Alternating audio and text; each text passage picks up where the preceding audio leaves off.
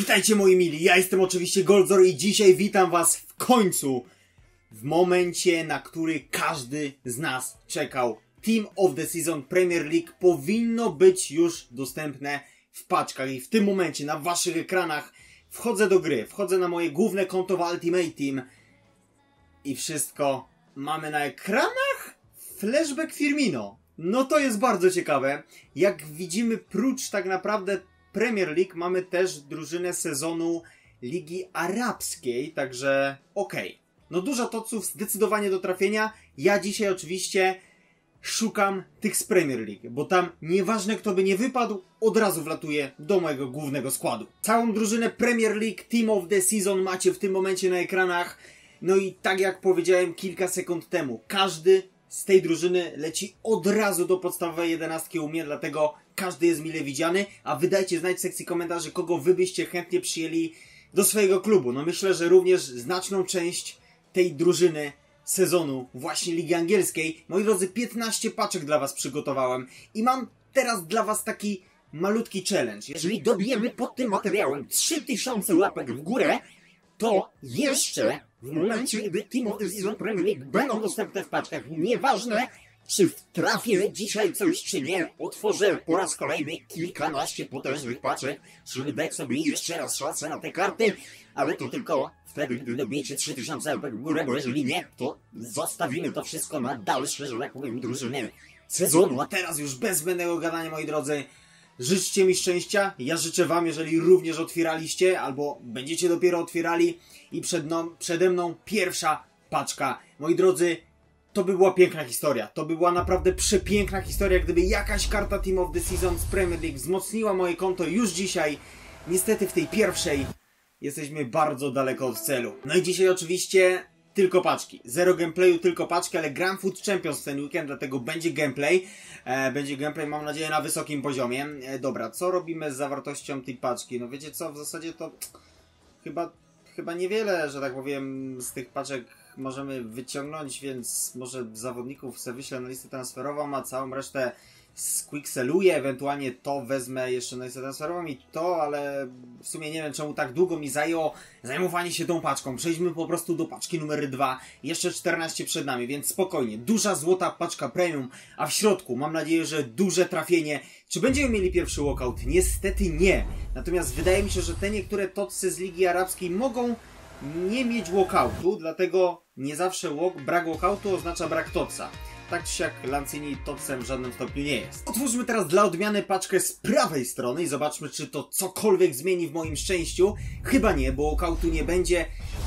I nie będzie też rewolucji, bo to jest Dawid Nerysz, który prawdopodobnie pojawi się w drużynie sezonu, ale Ligi Beneluxu, czyli niestety nie teraz. Cztery paczki, albo pięć, nie, cztery chyba i nie było ani razu ekranów nawet, więc żebyśmy doszli do tego pułapu walkoutu, potrzebujemy ekranów i ich również nie ma nawet w tej paczce. Jest źle. Zaczyna mi się to więc średnio podobać, ale oczywiście ja się nie poddaję. To jest paczka za 50 tysięcy. Takich paczek mamy aż 4.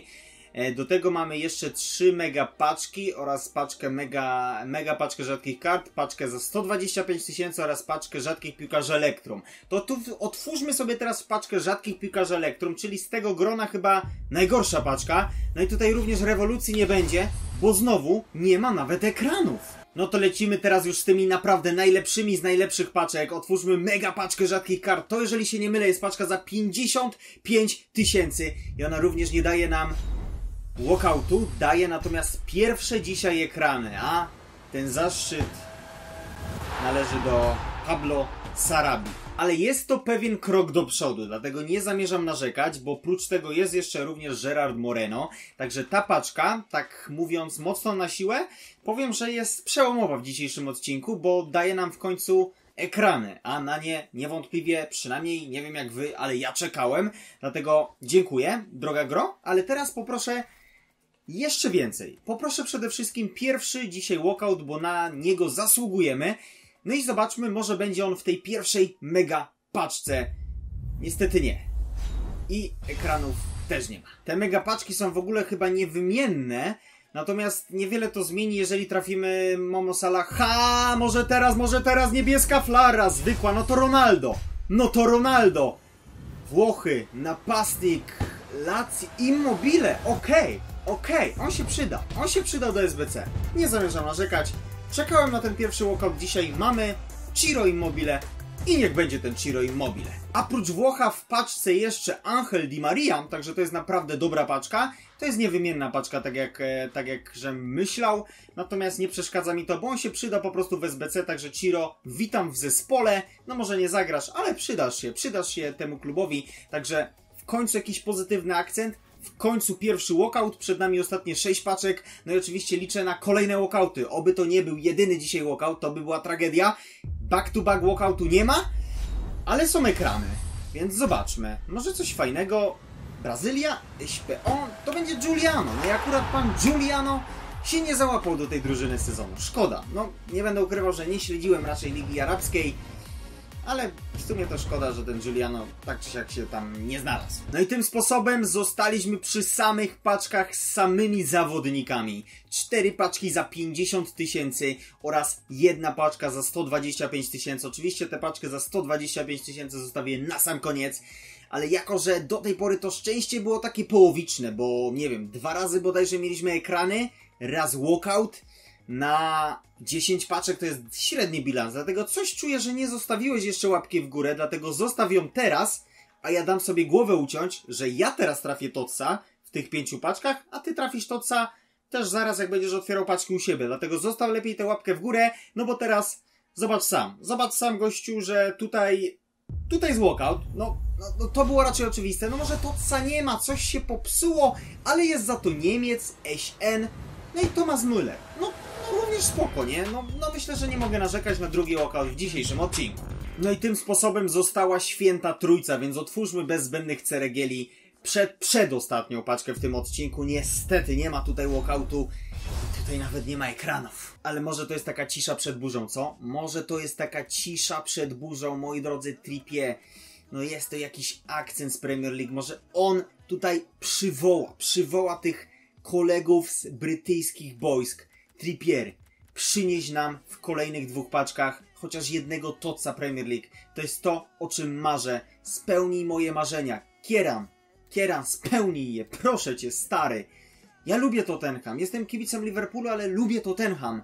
Więc Kieran, w tych dwóch paczkach jeden toc. I o nic więcej nie proszę.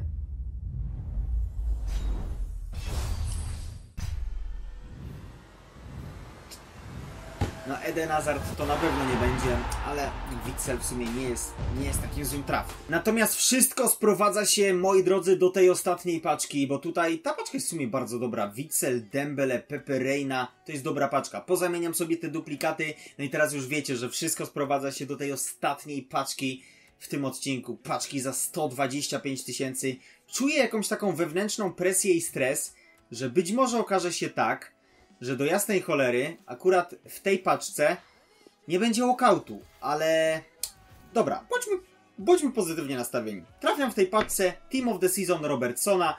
Kto nie wierzy, ten patrzy.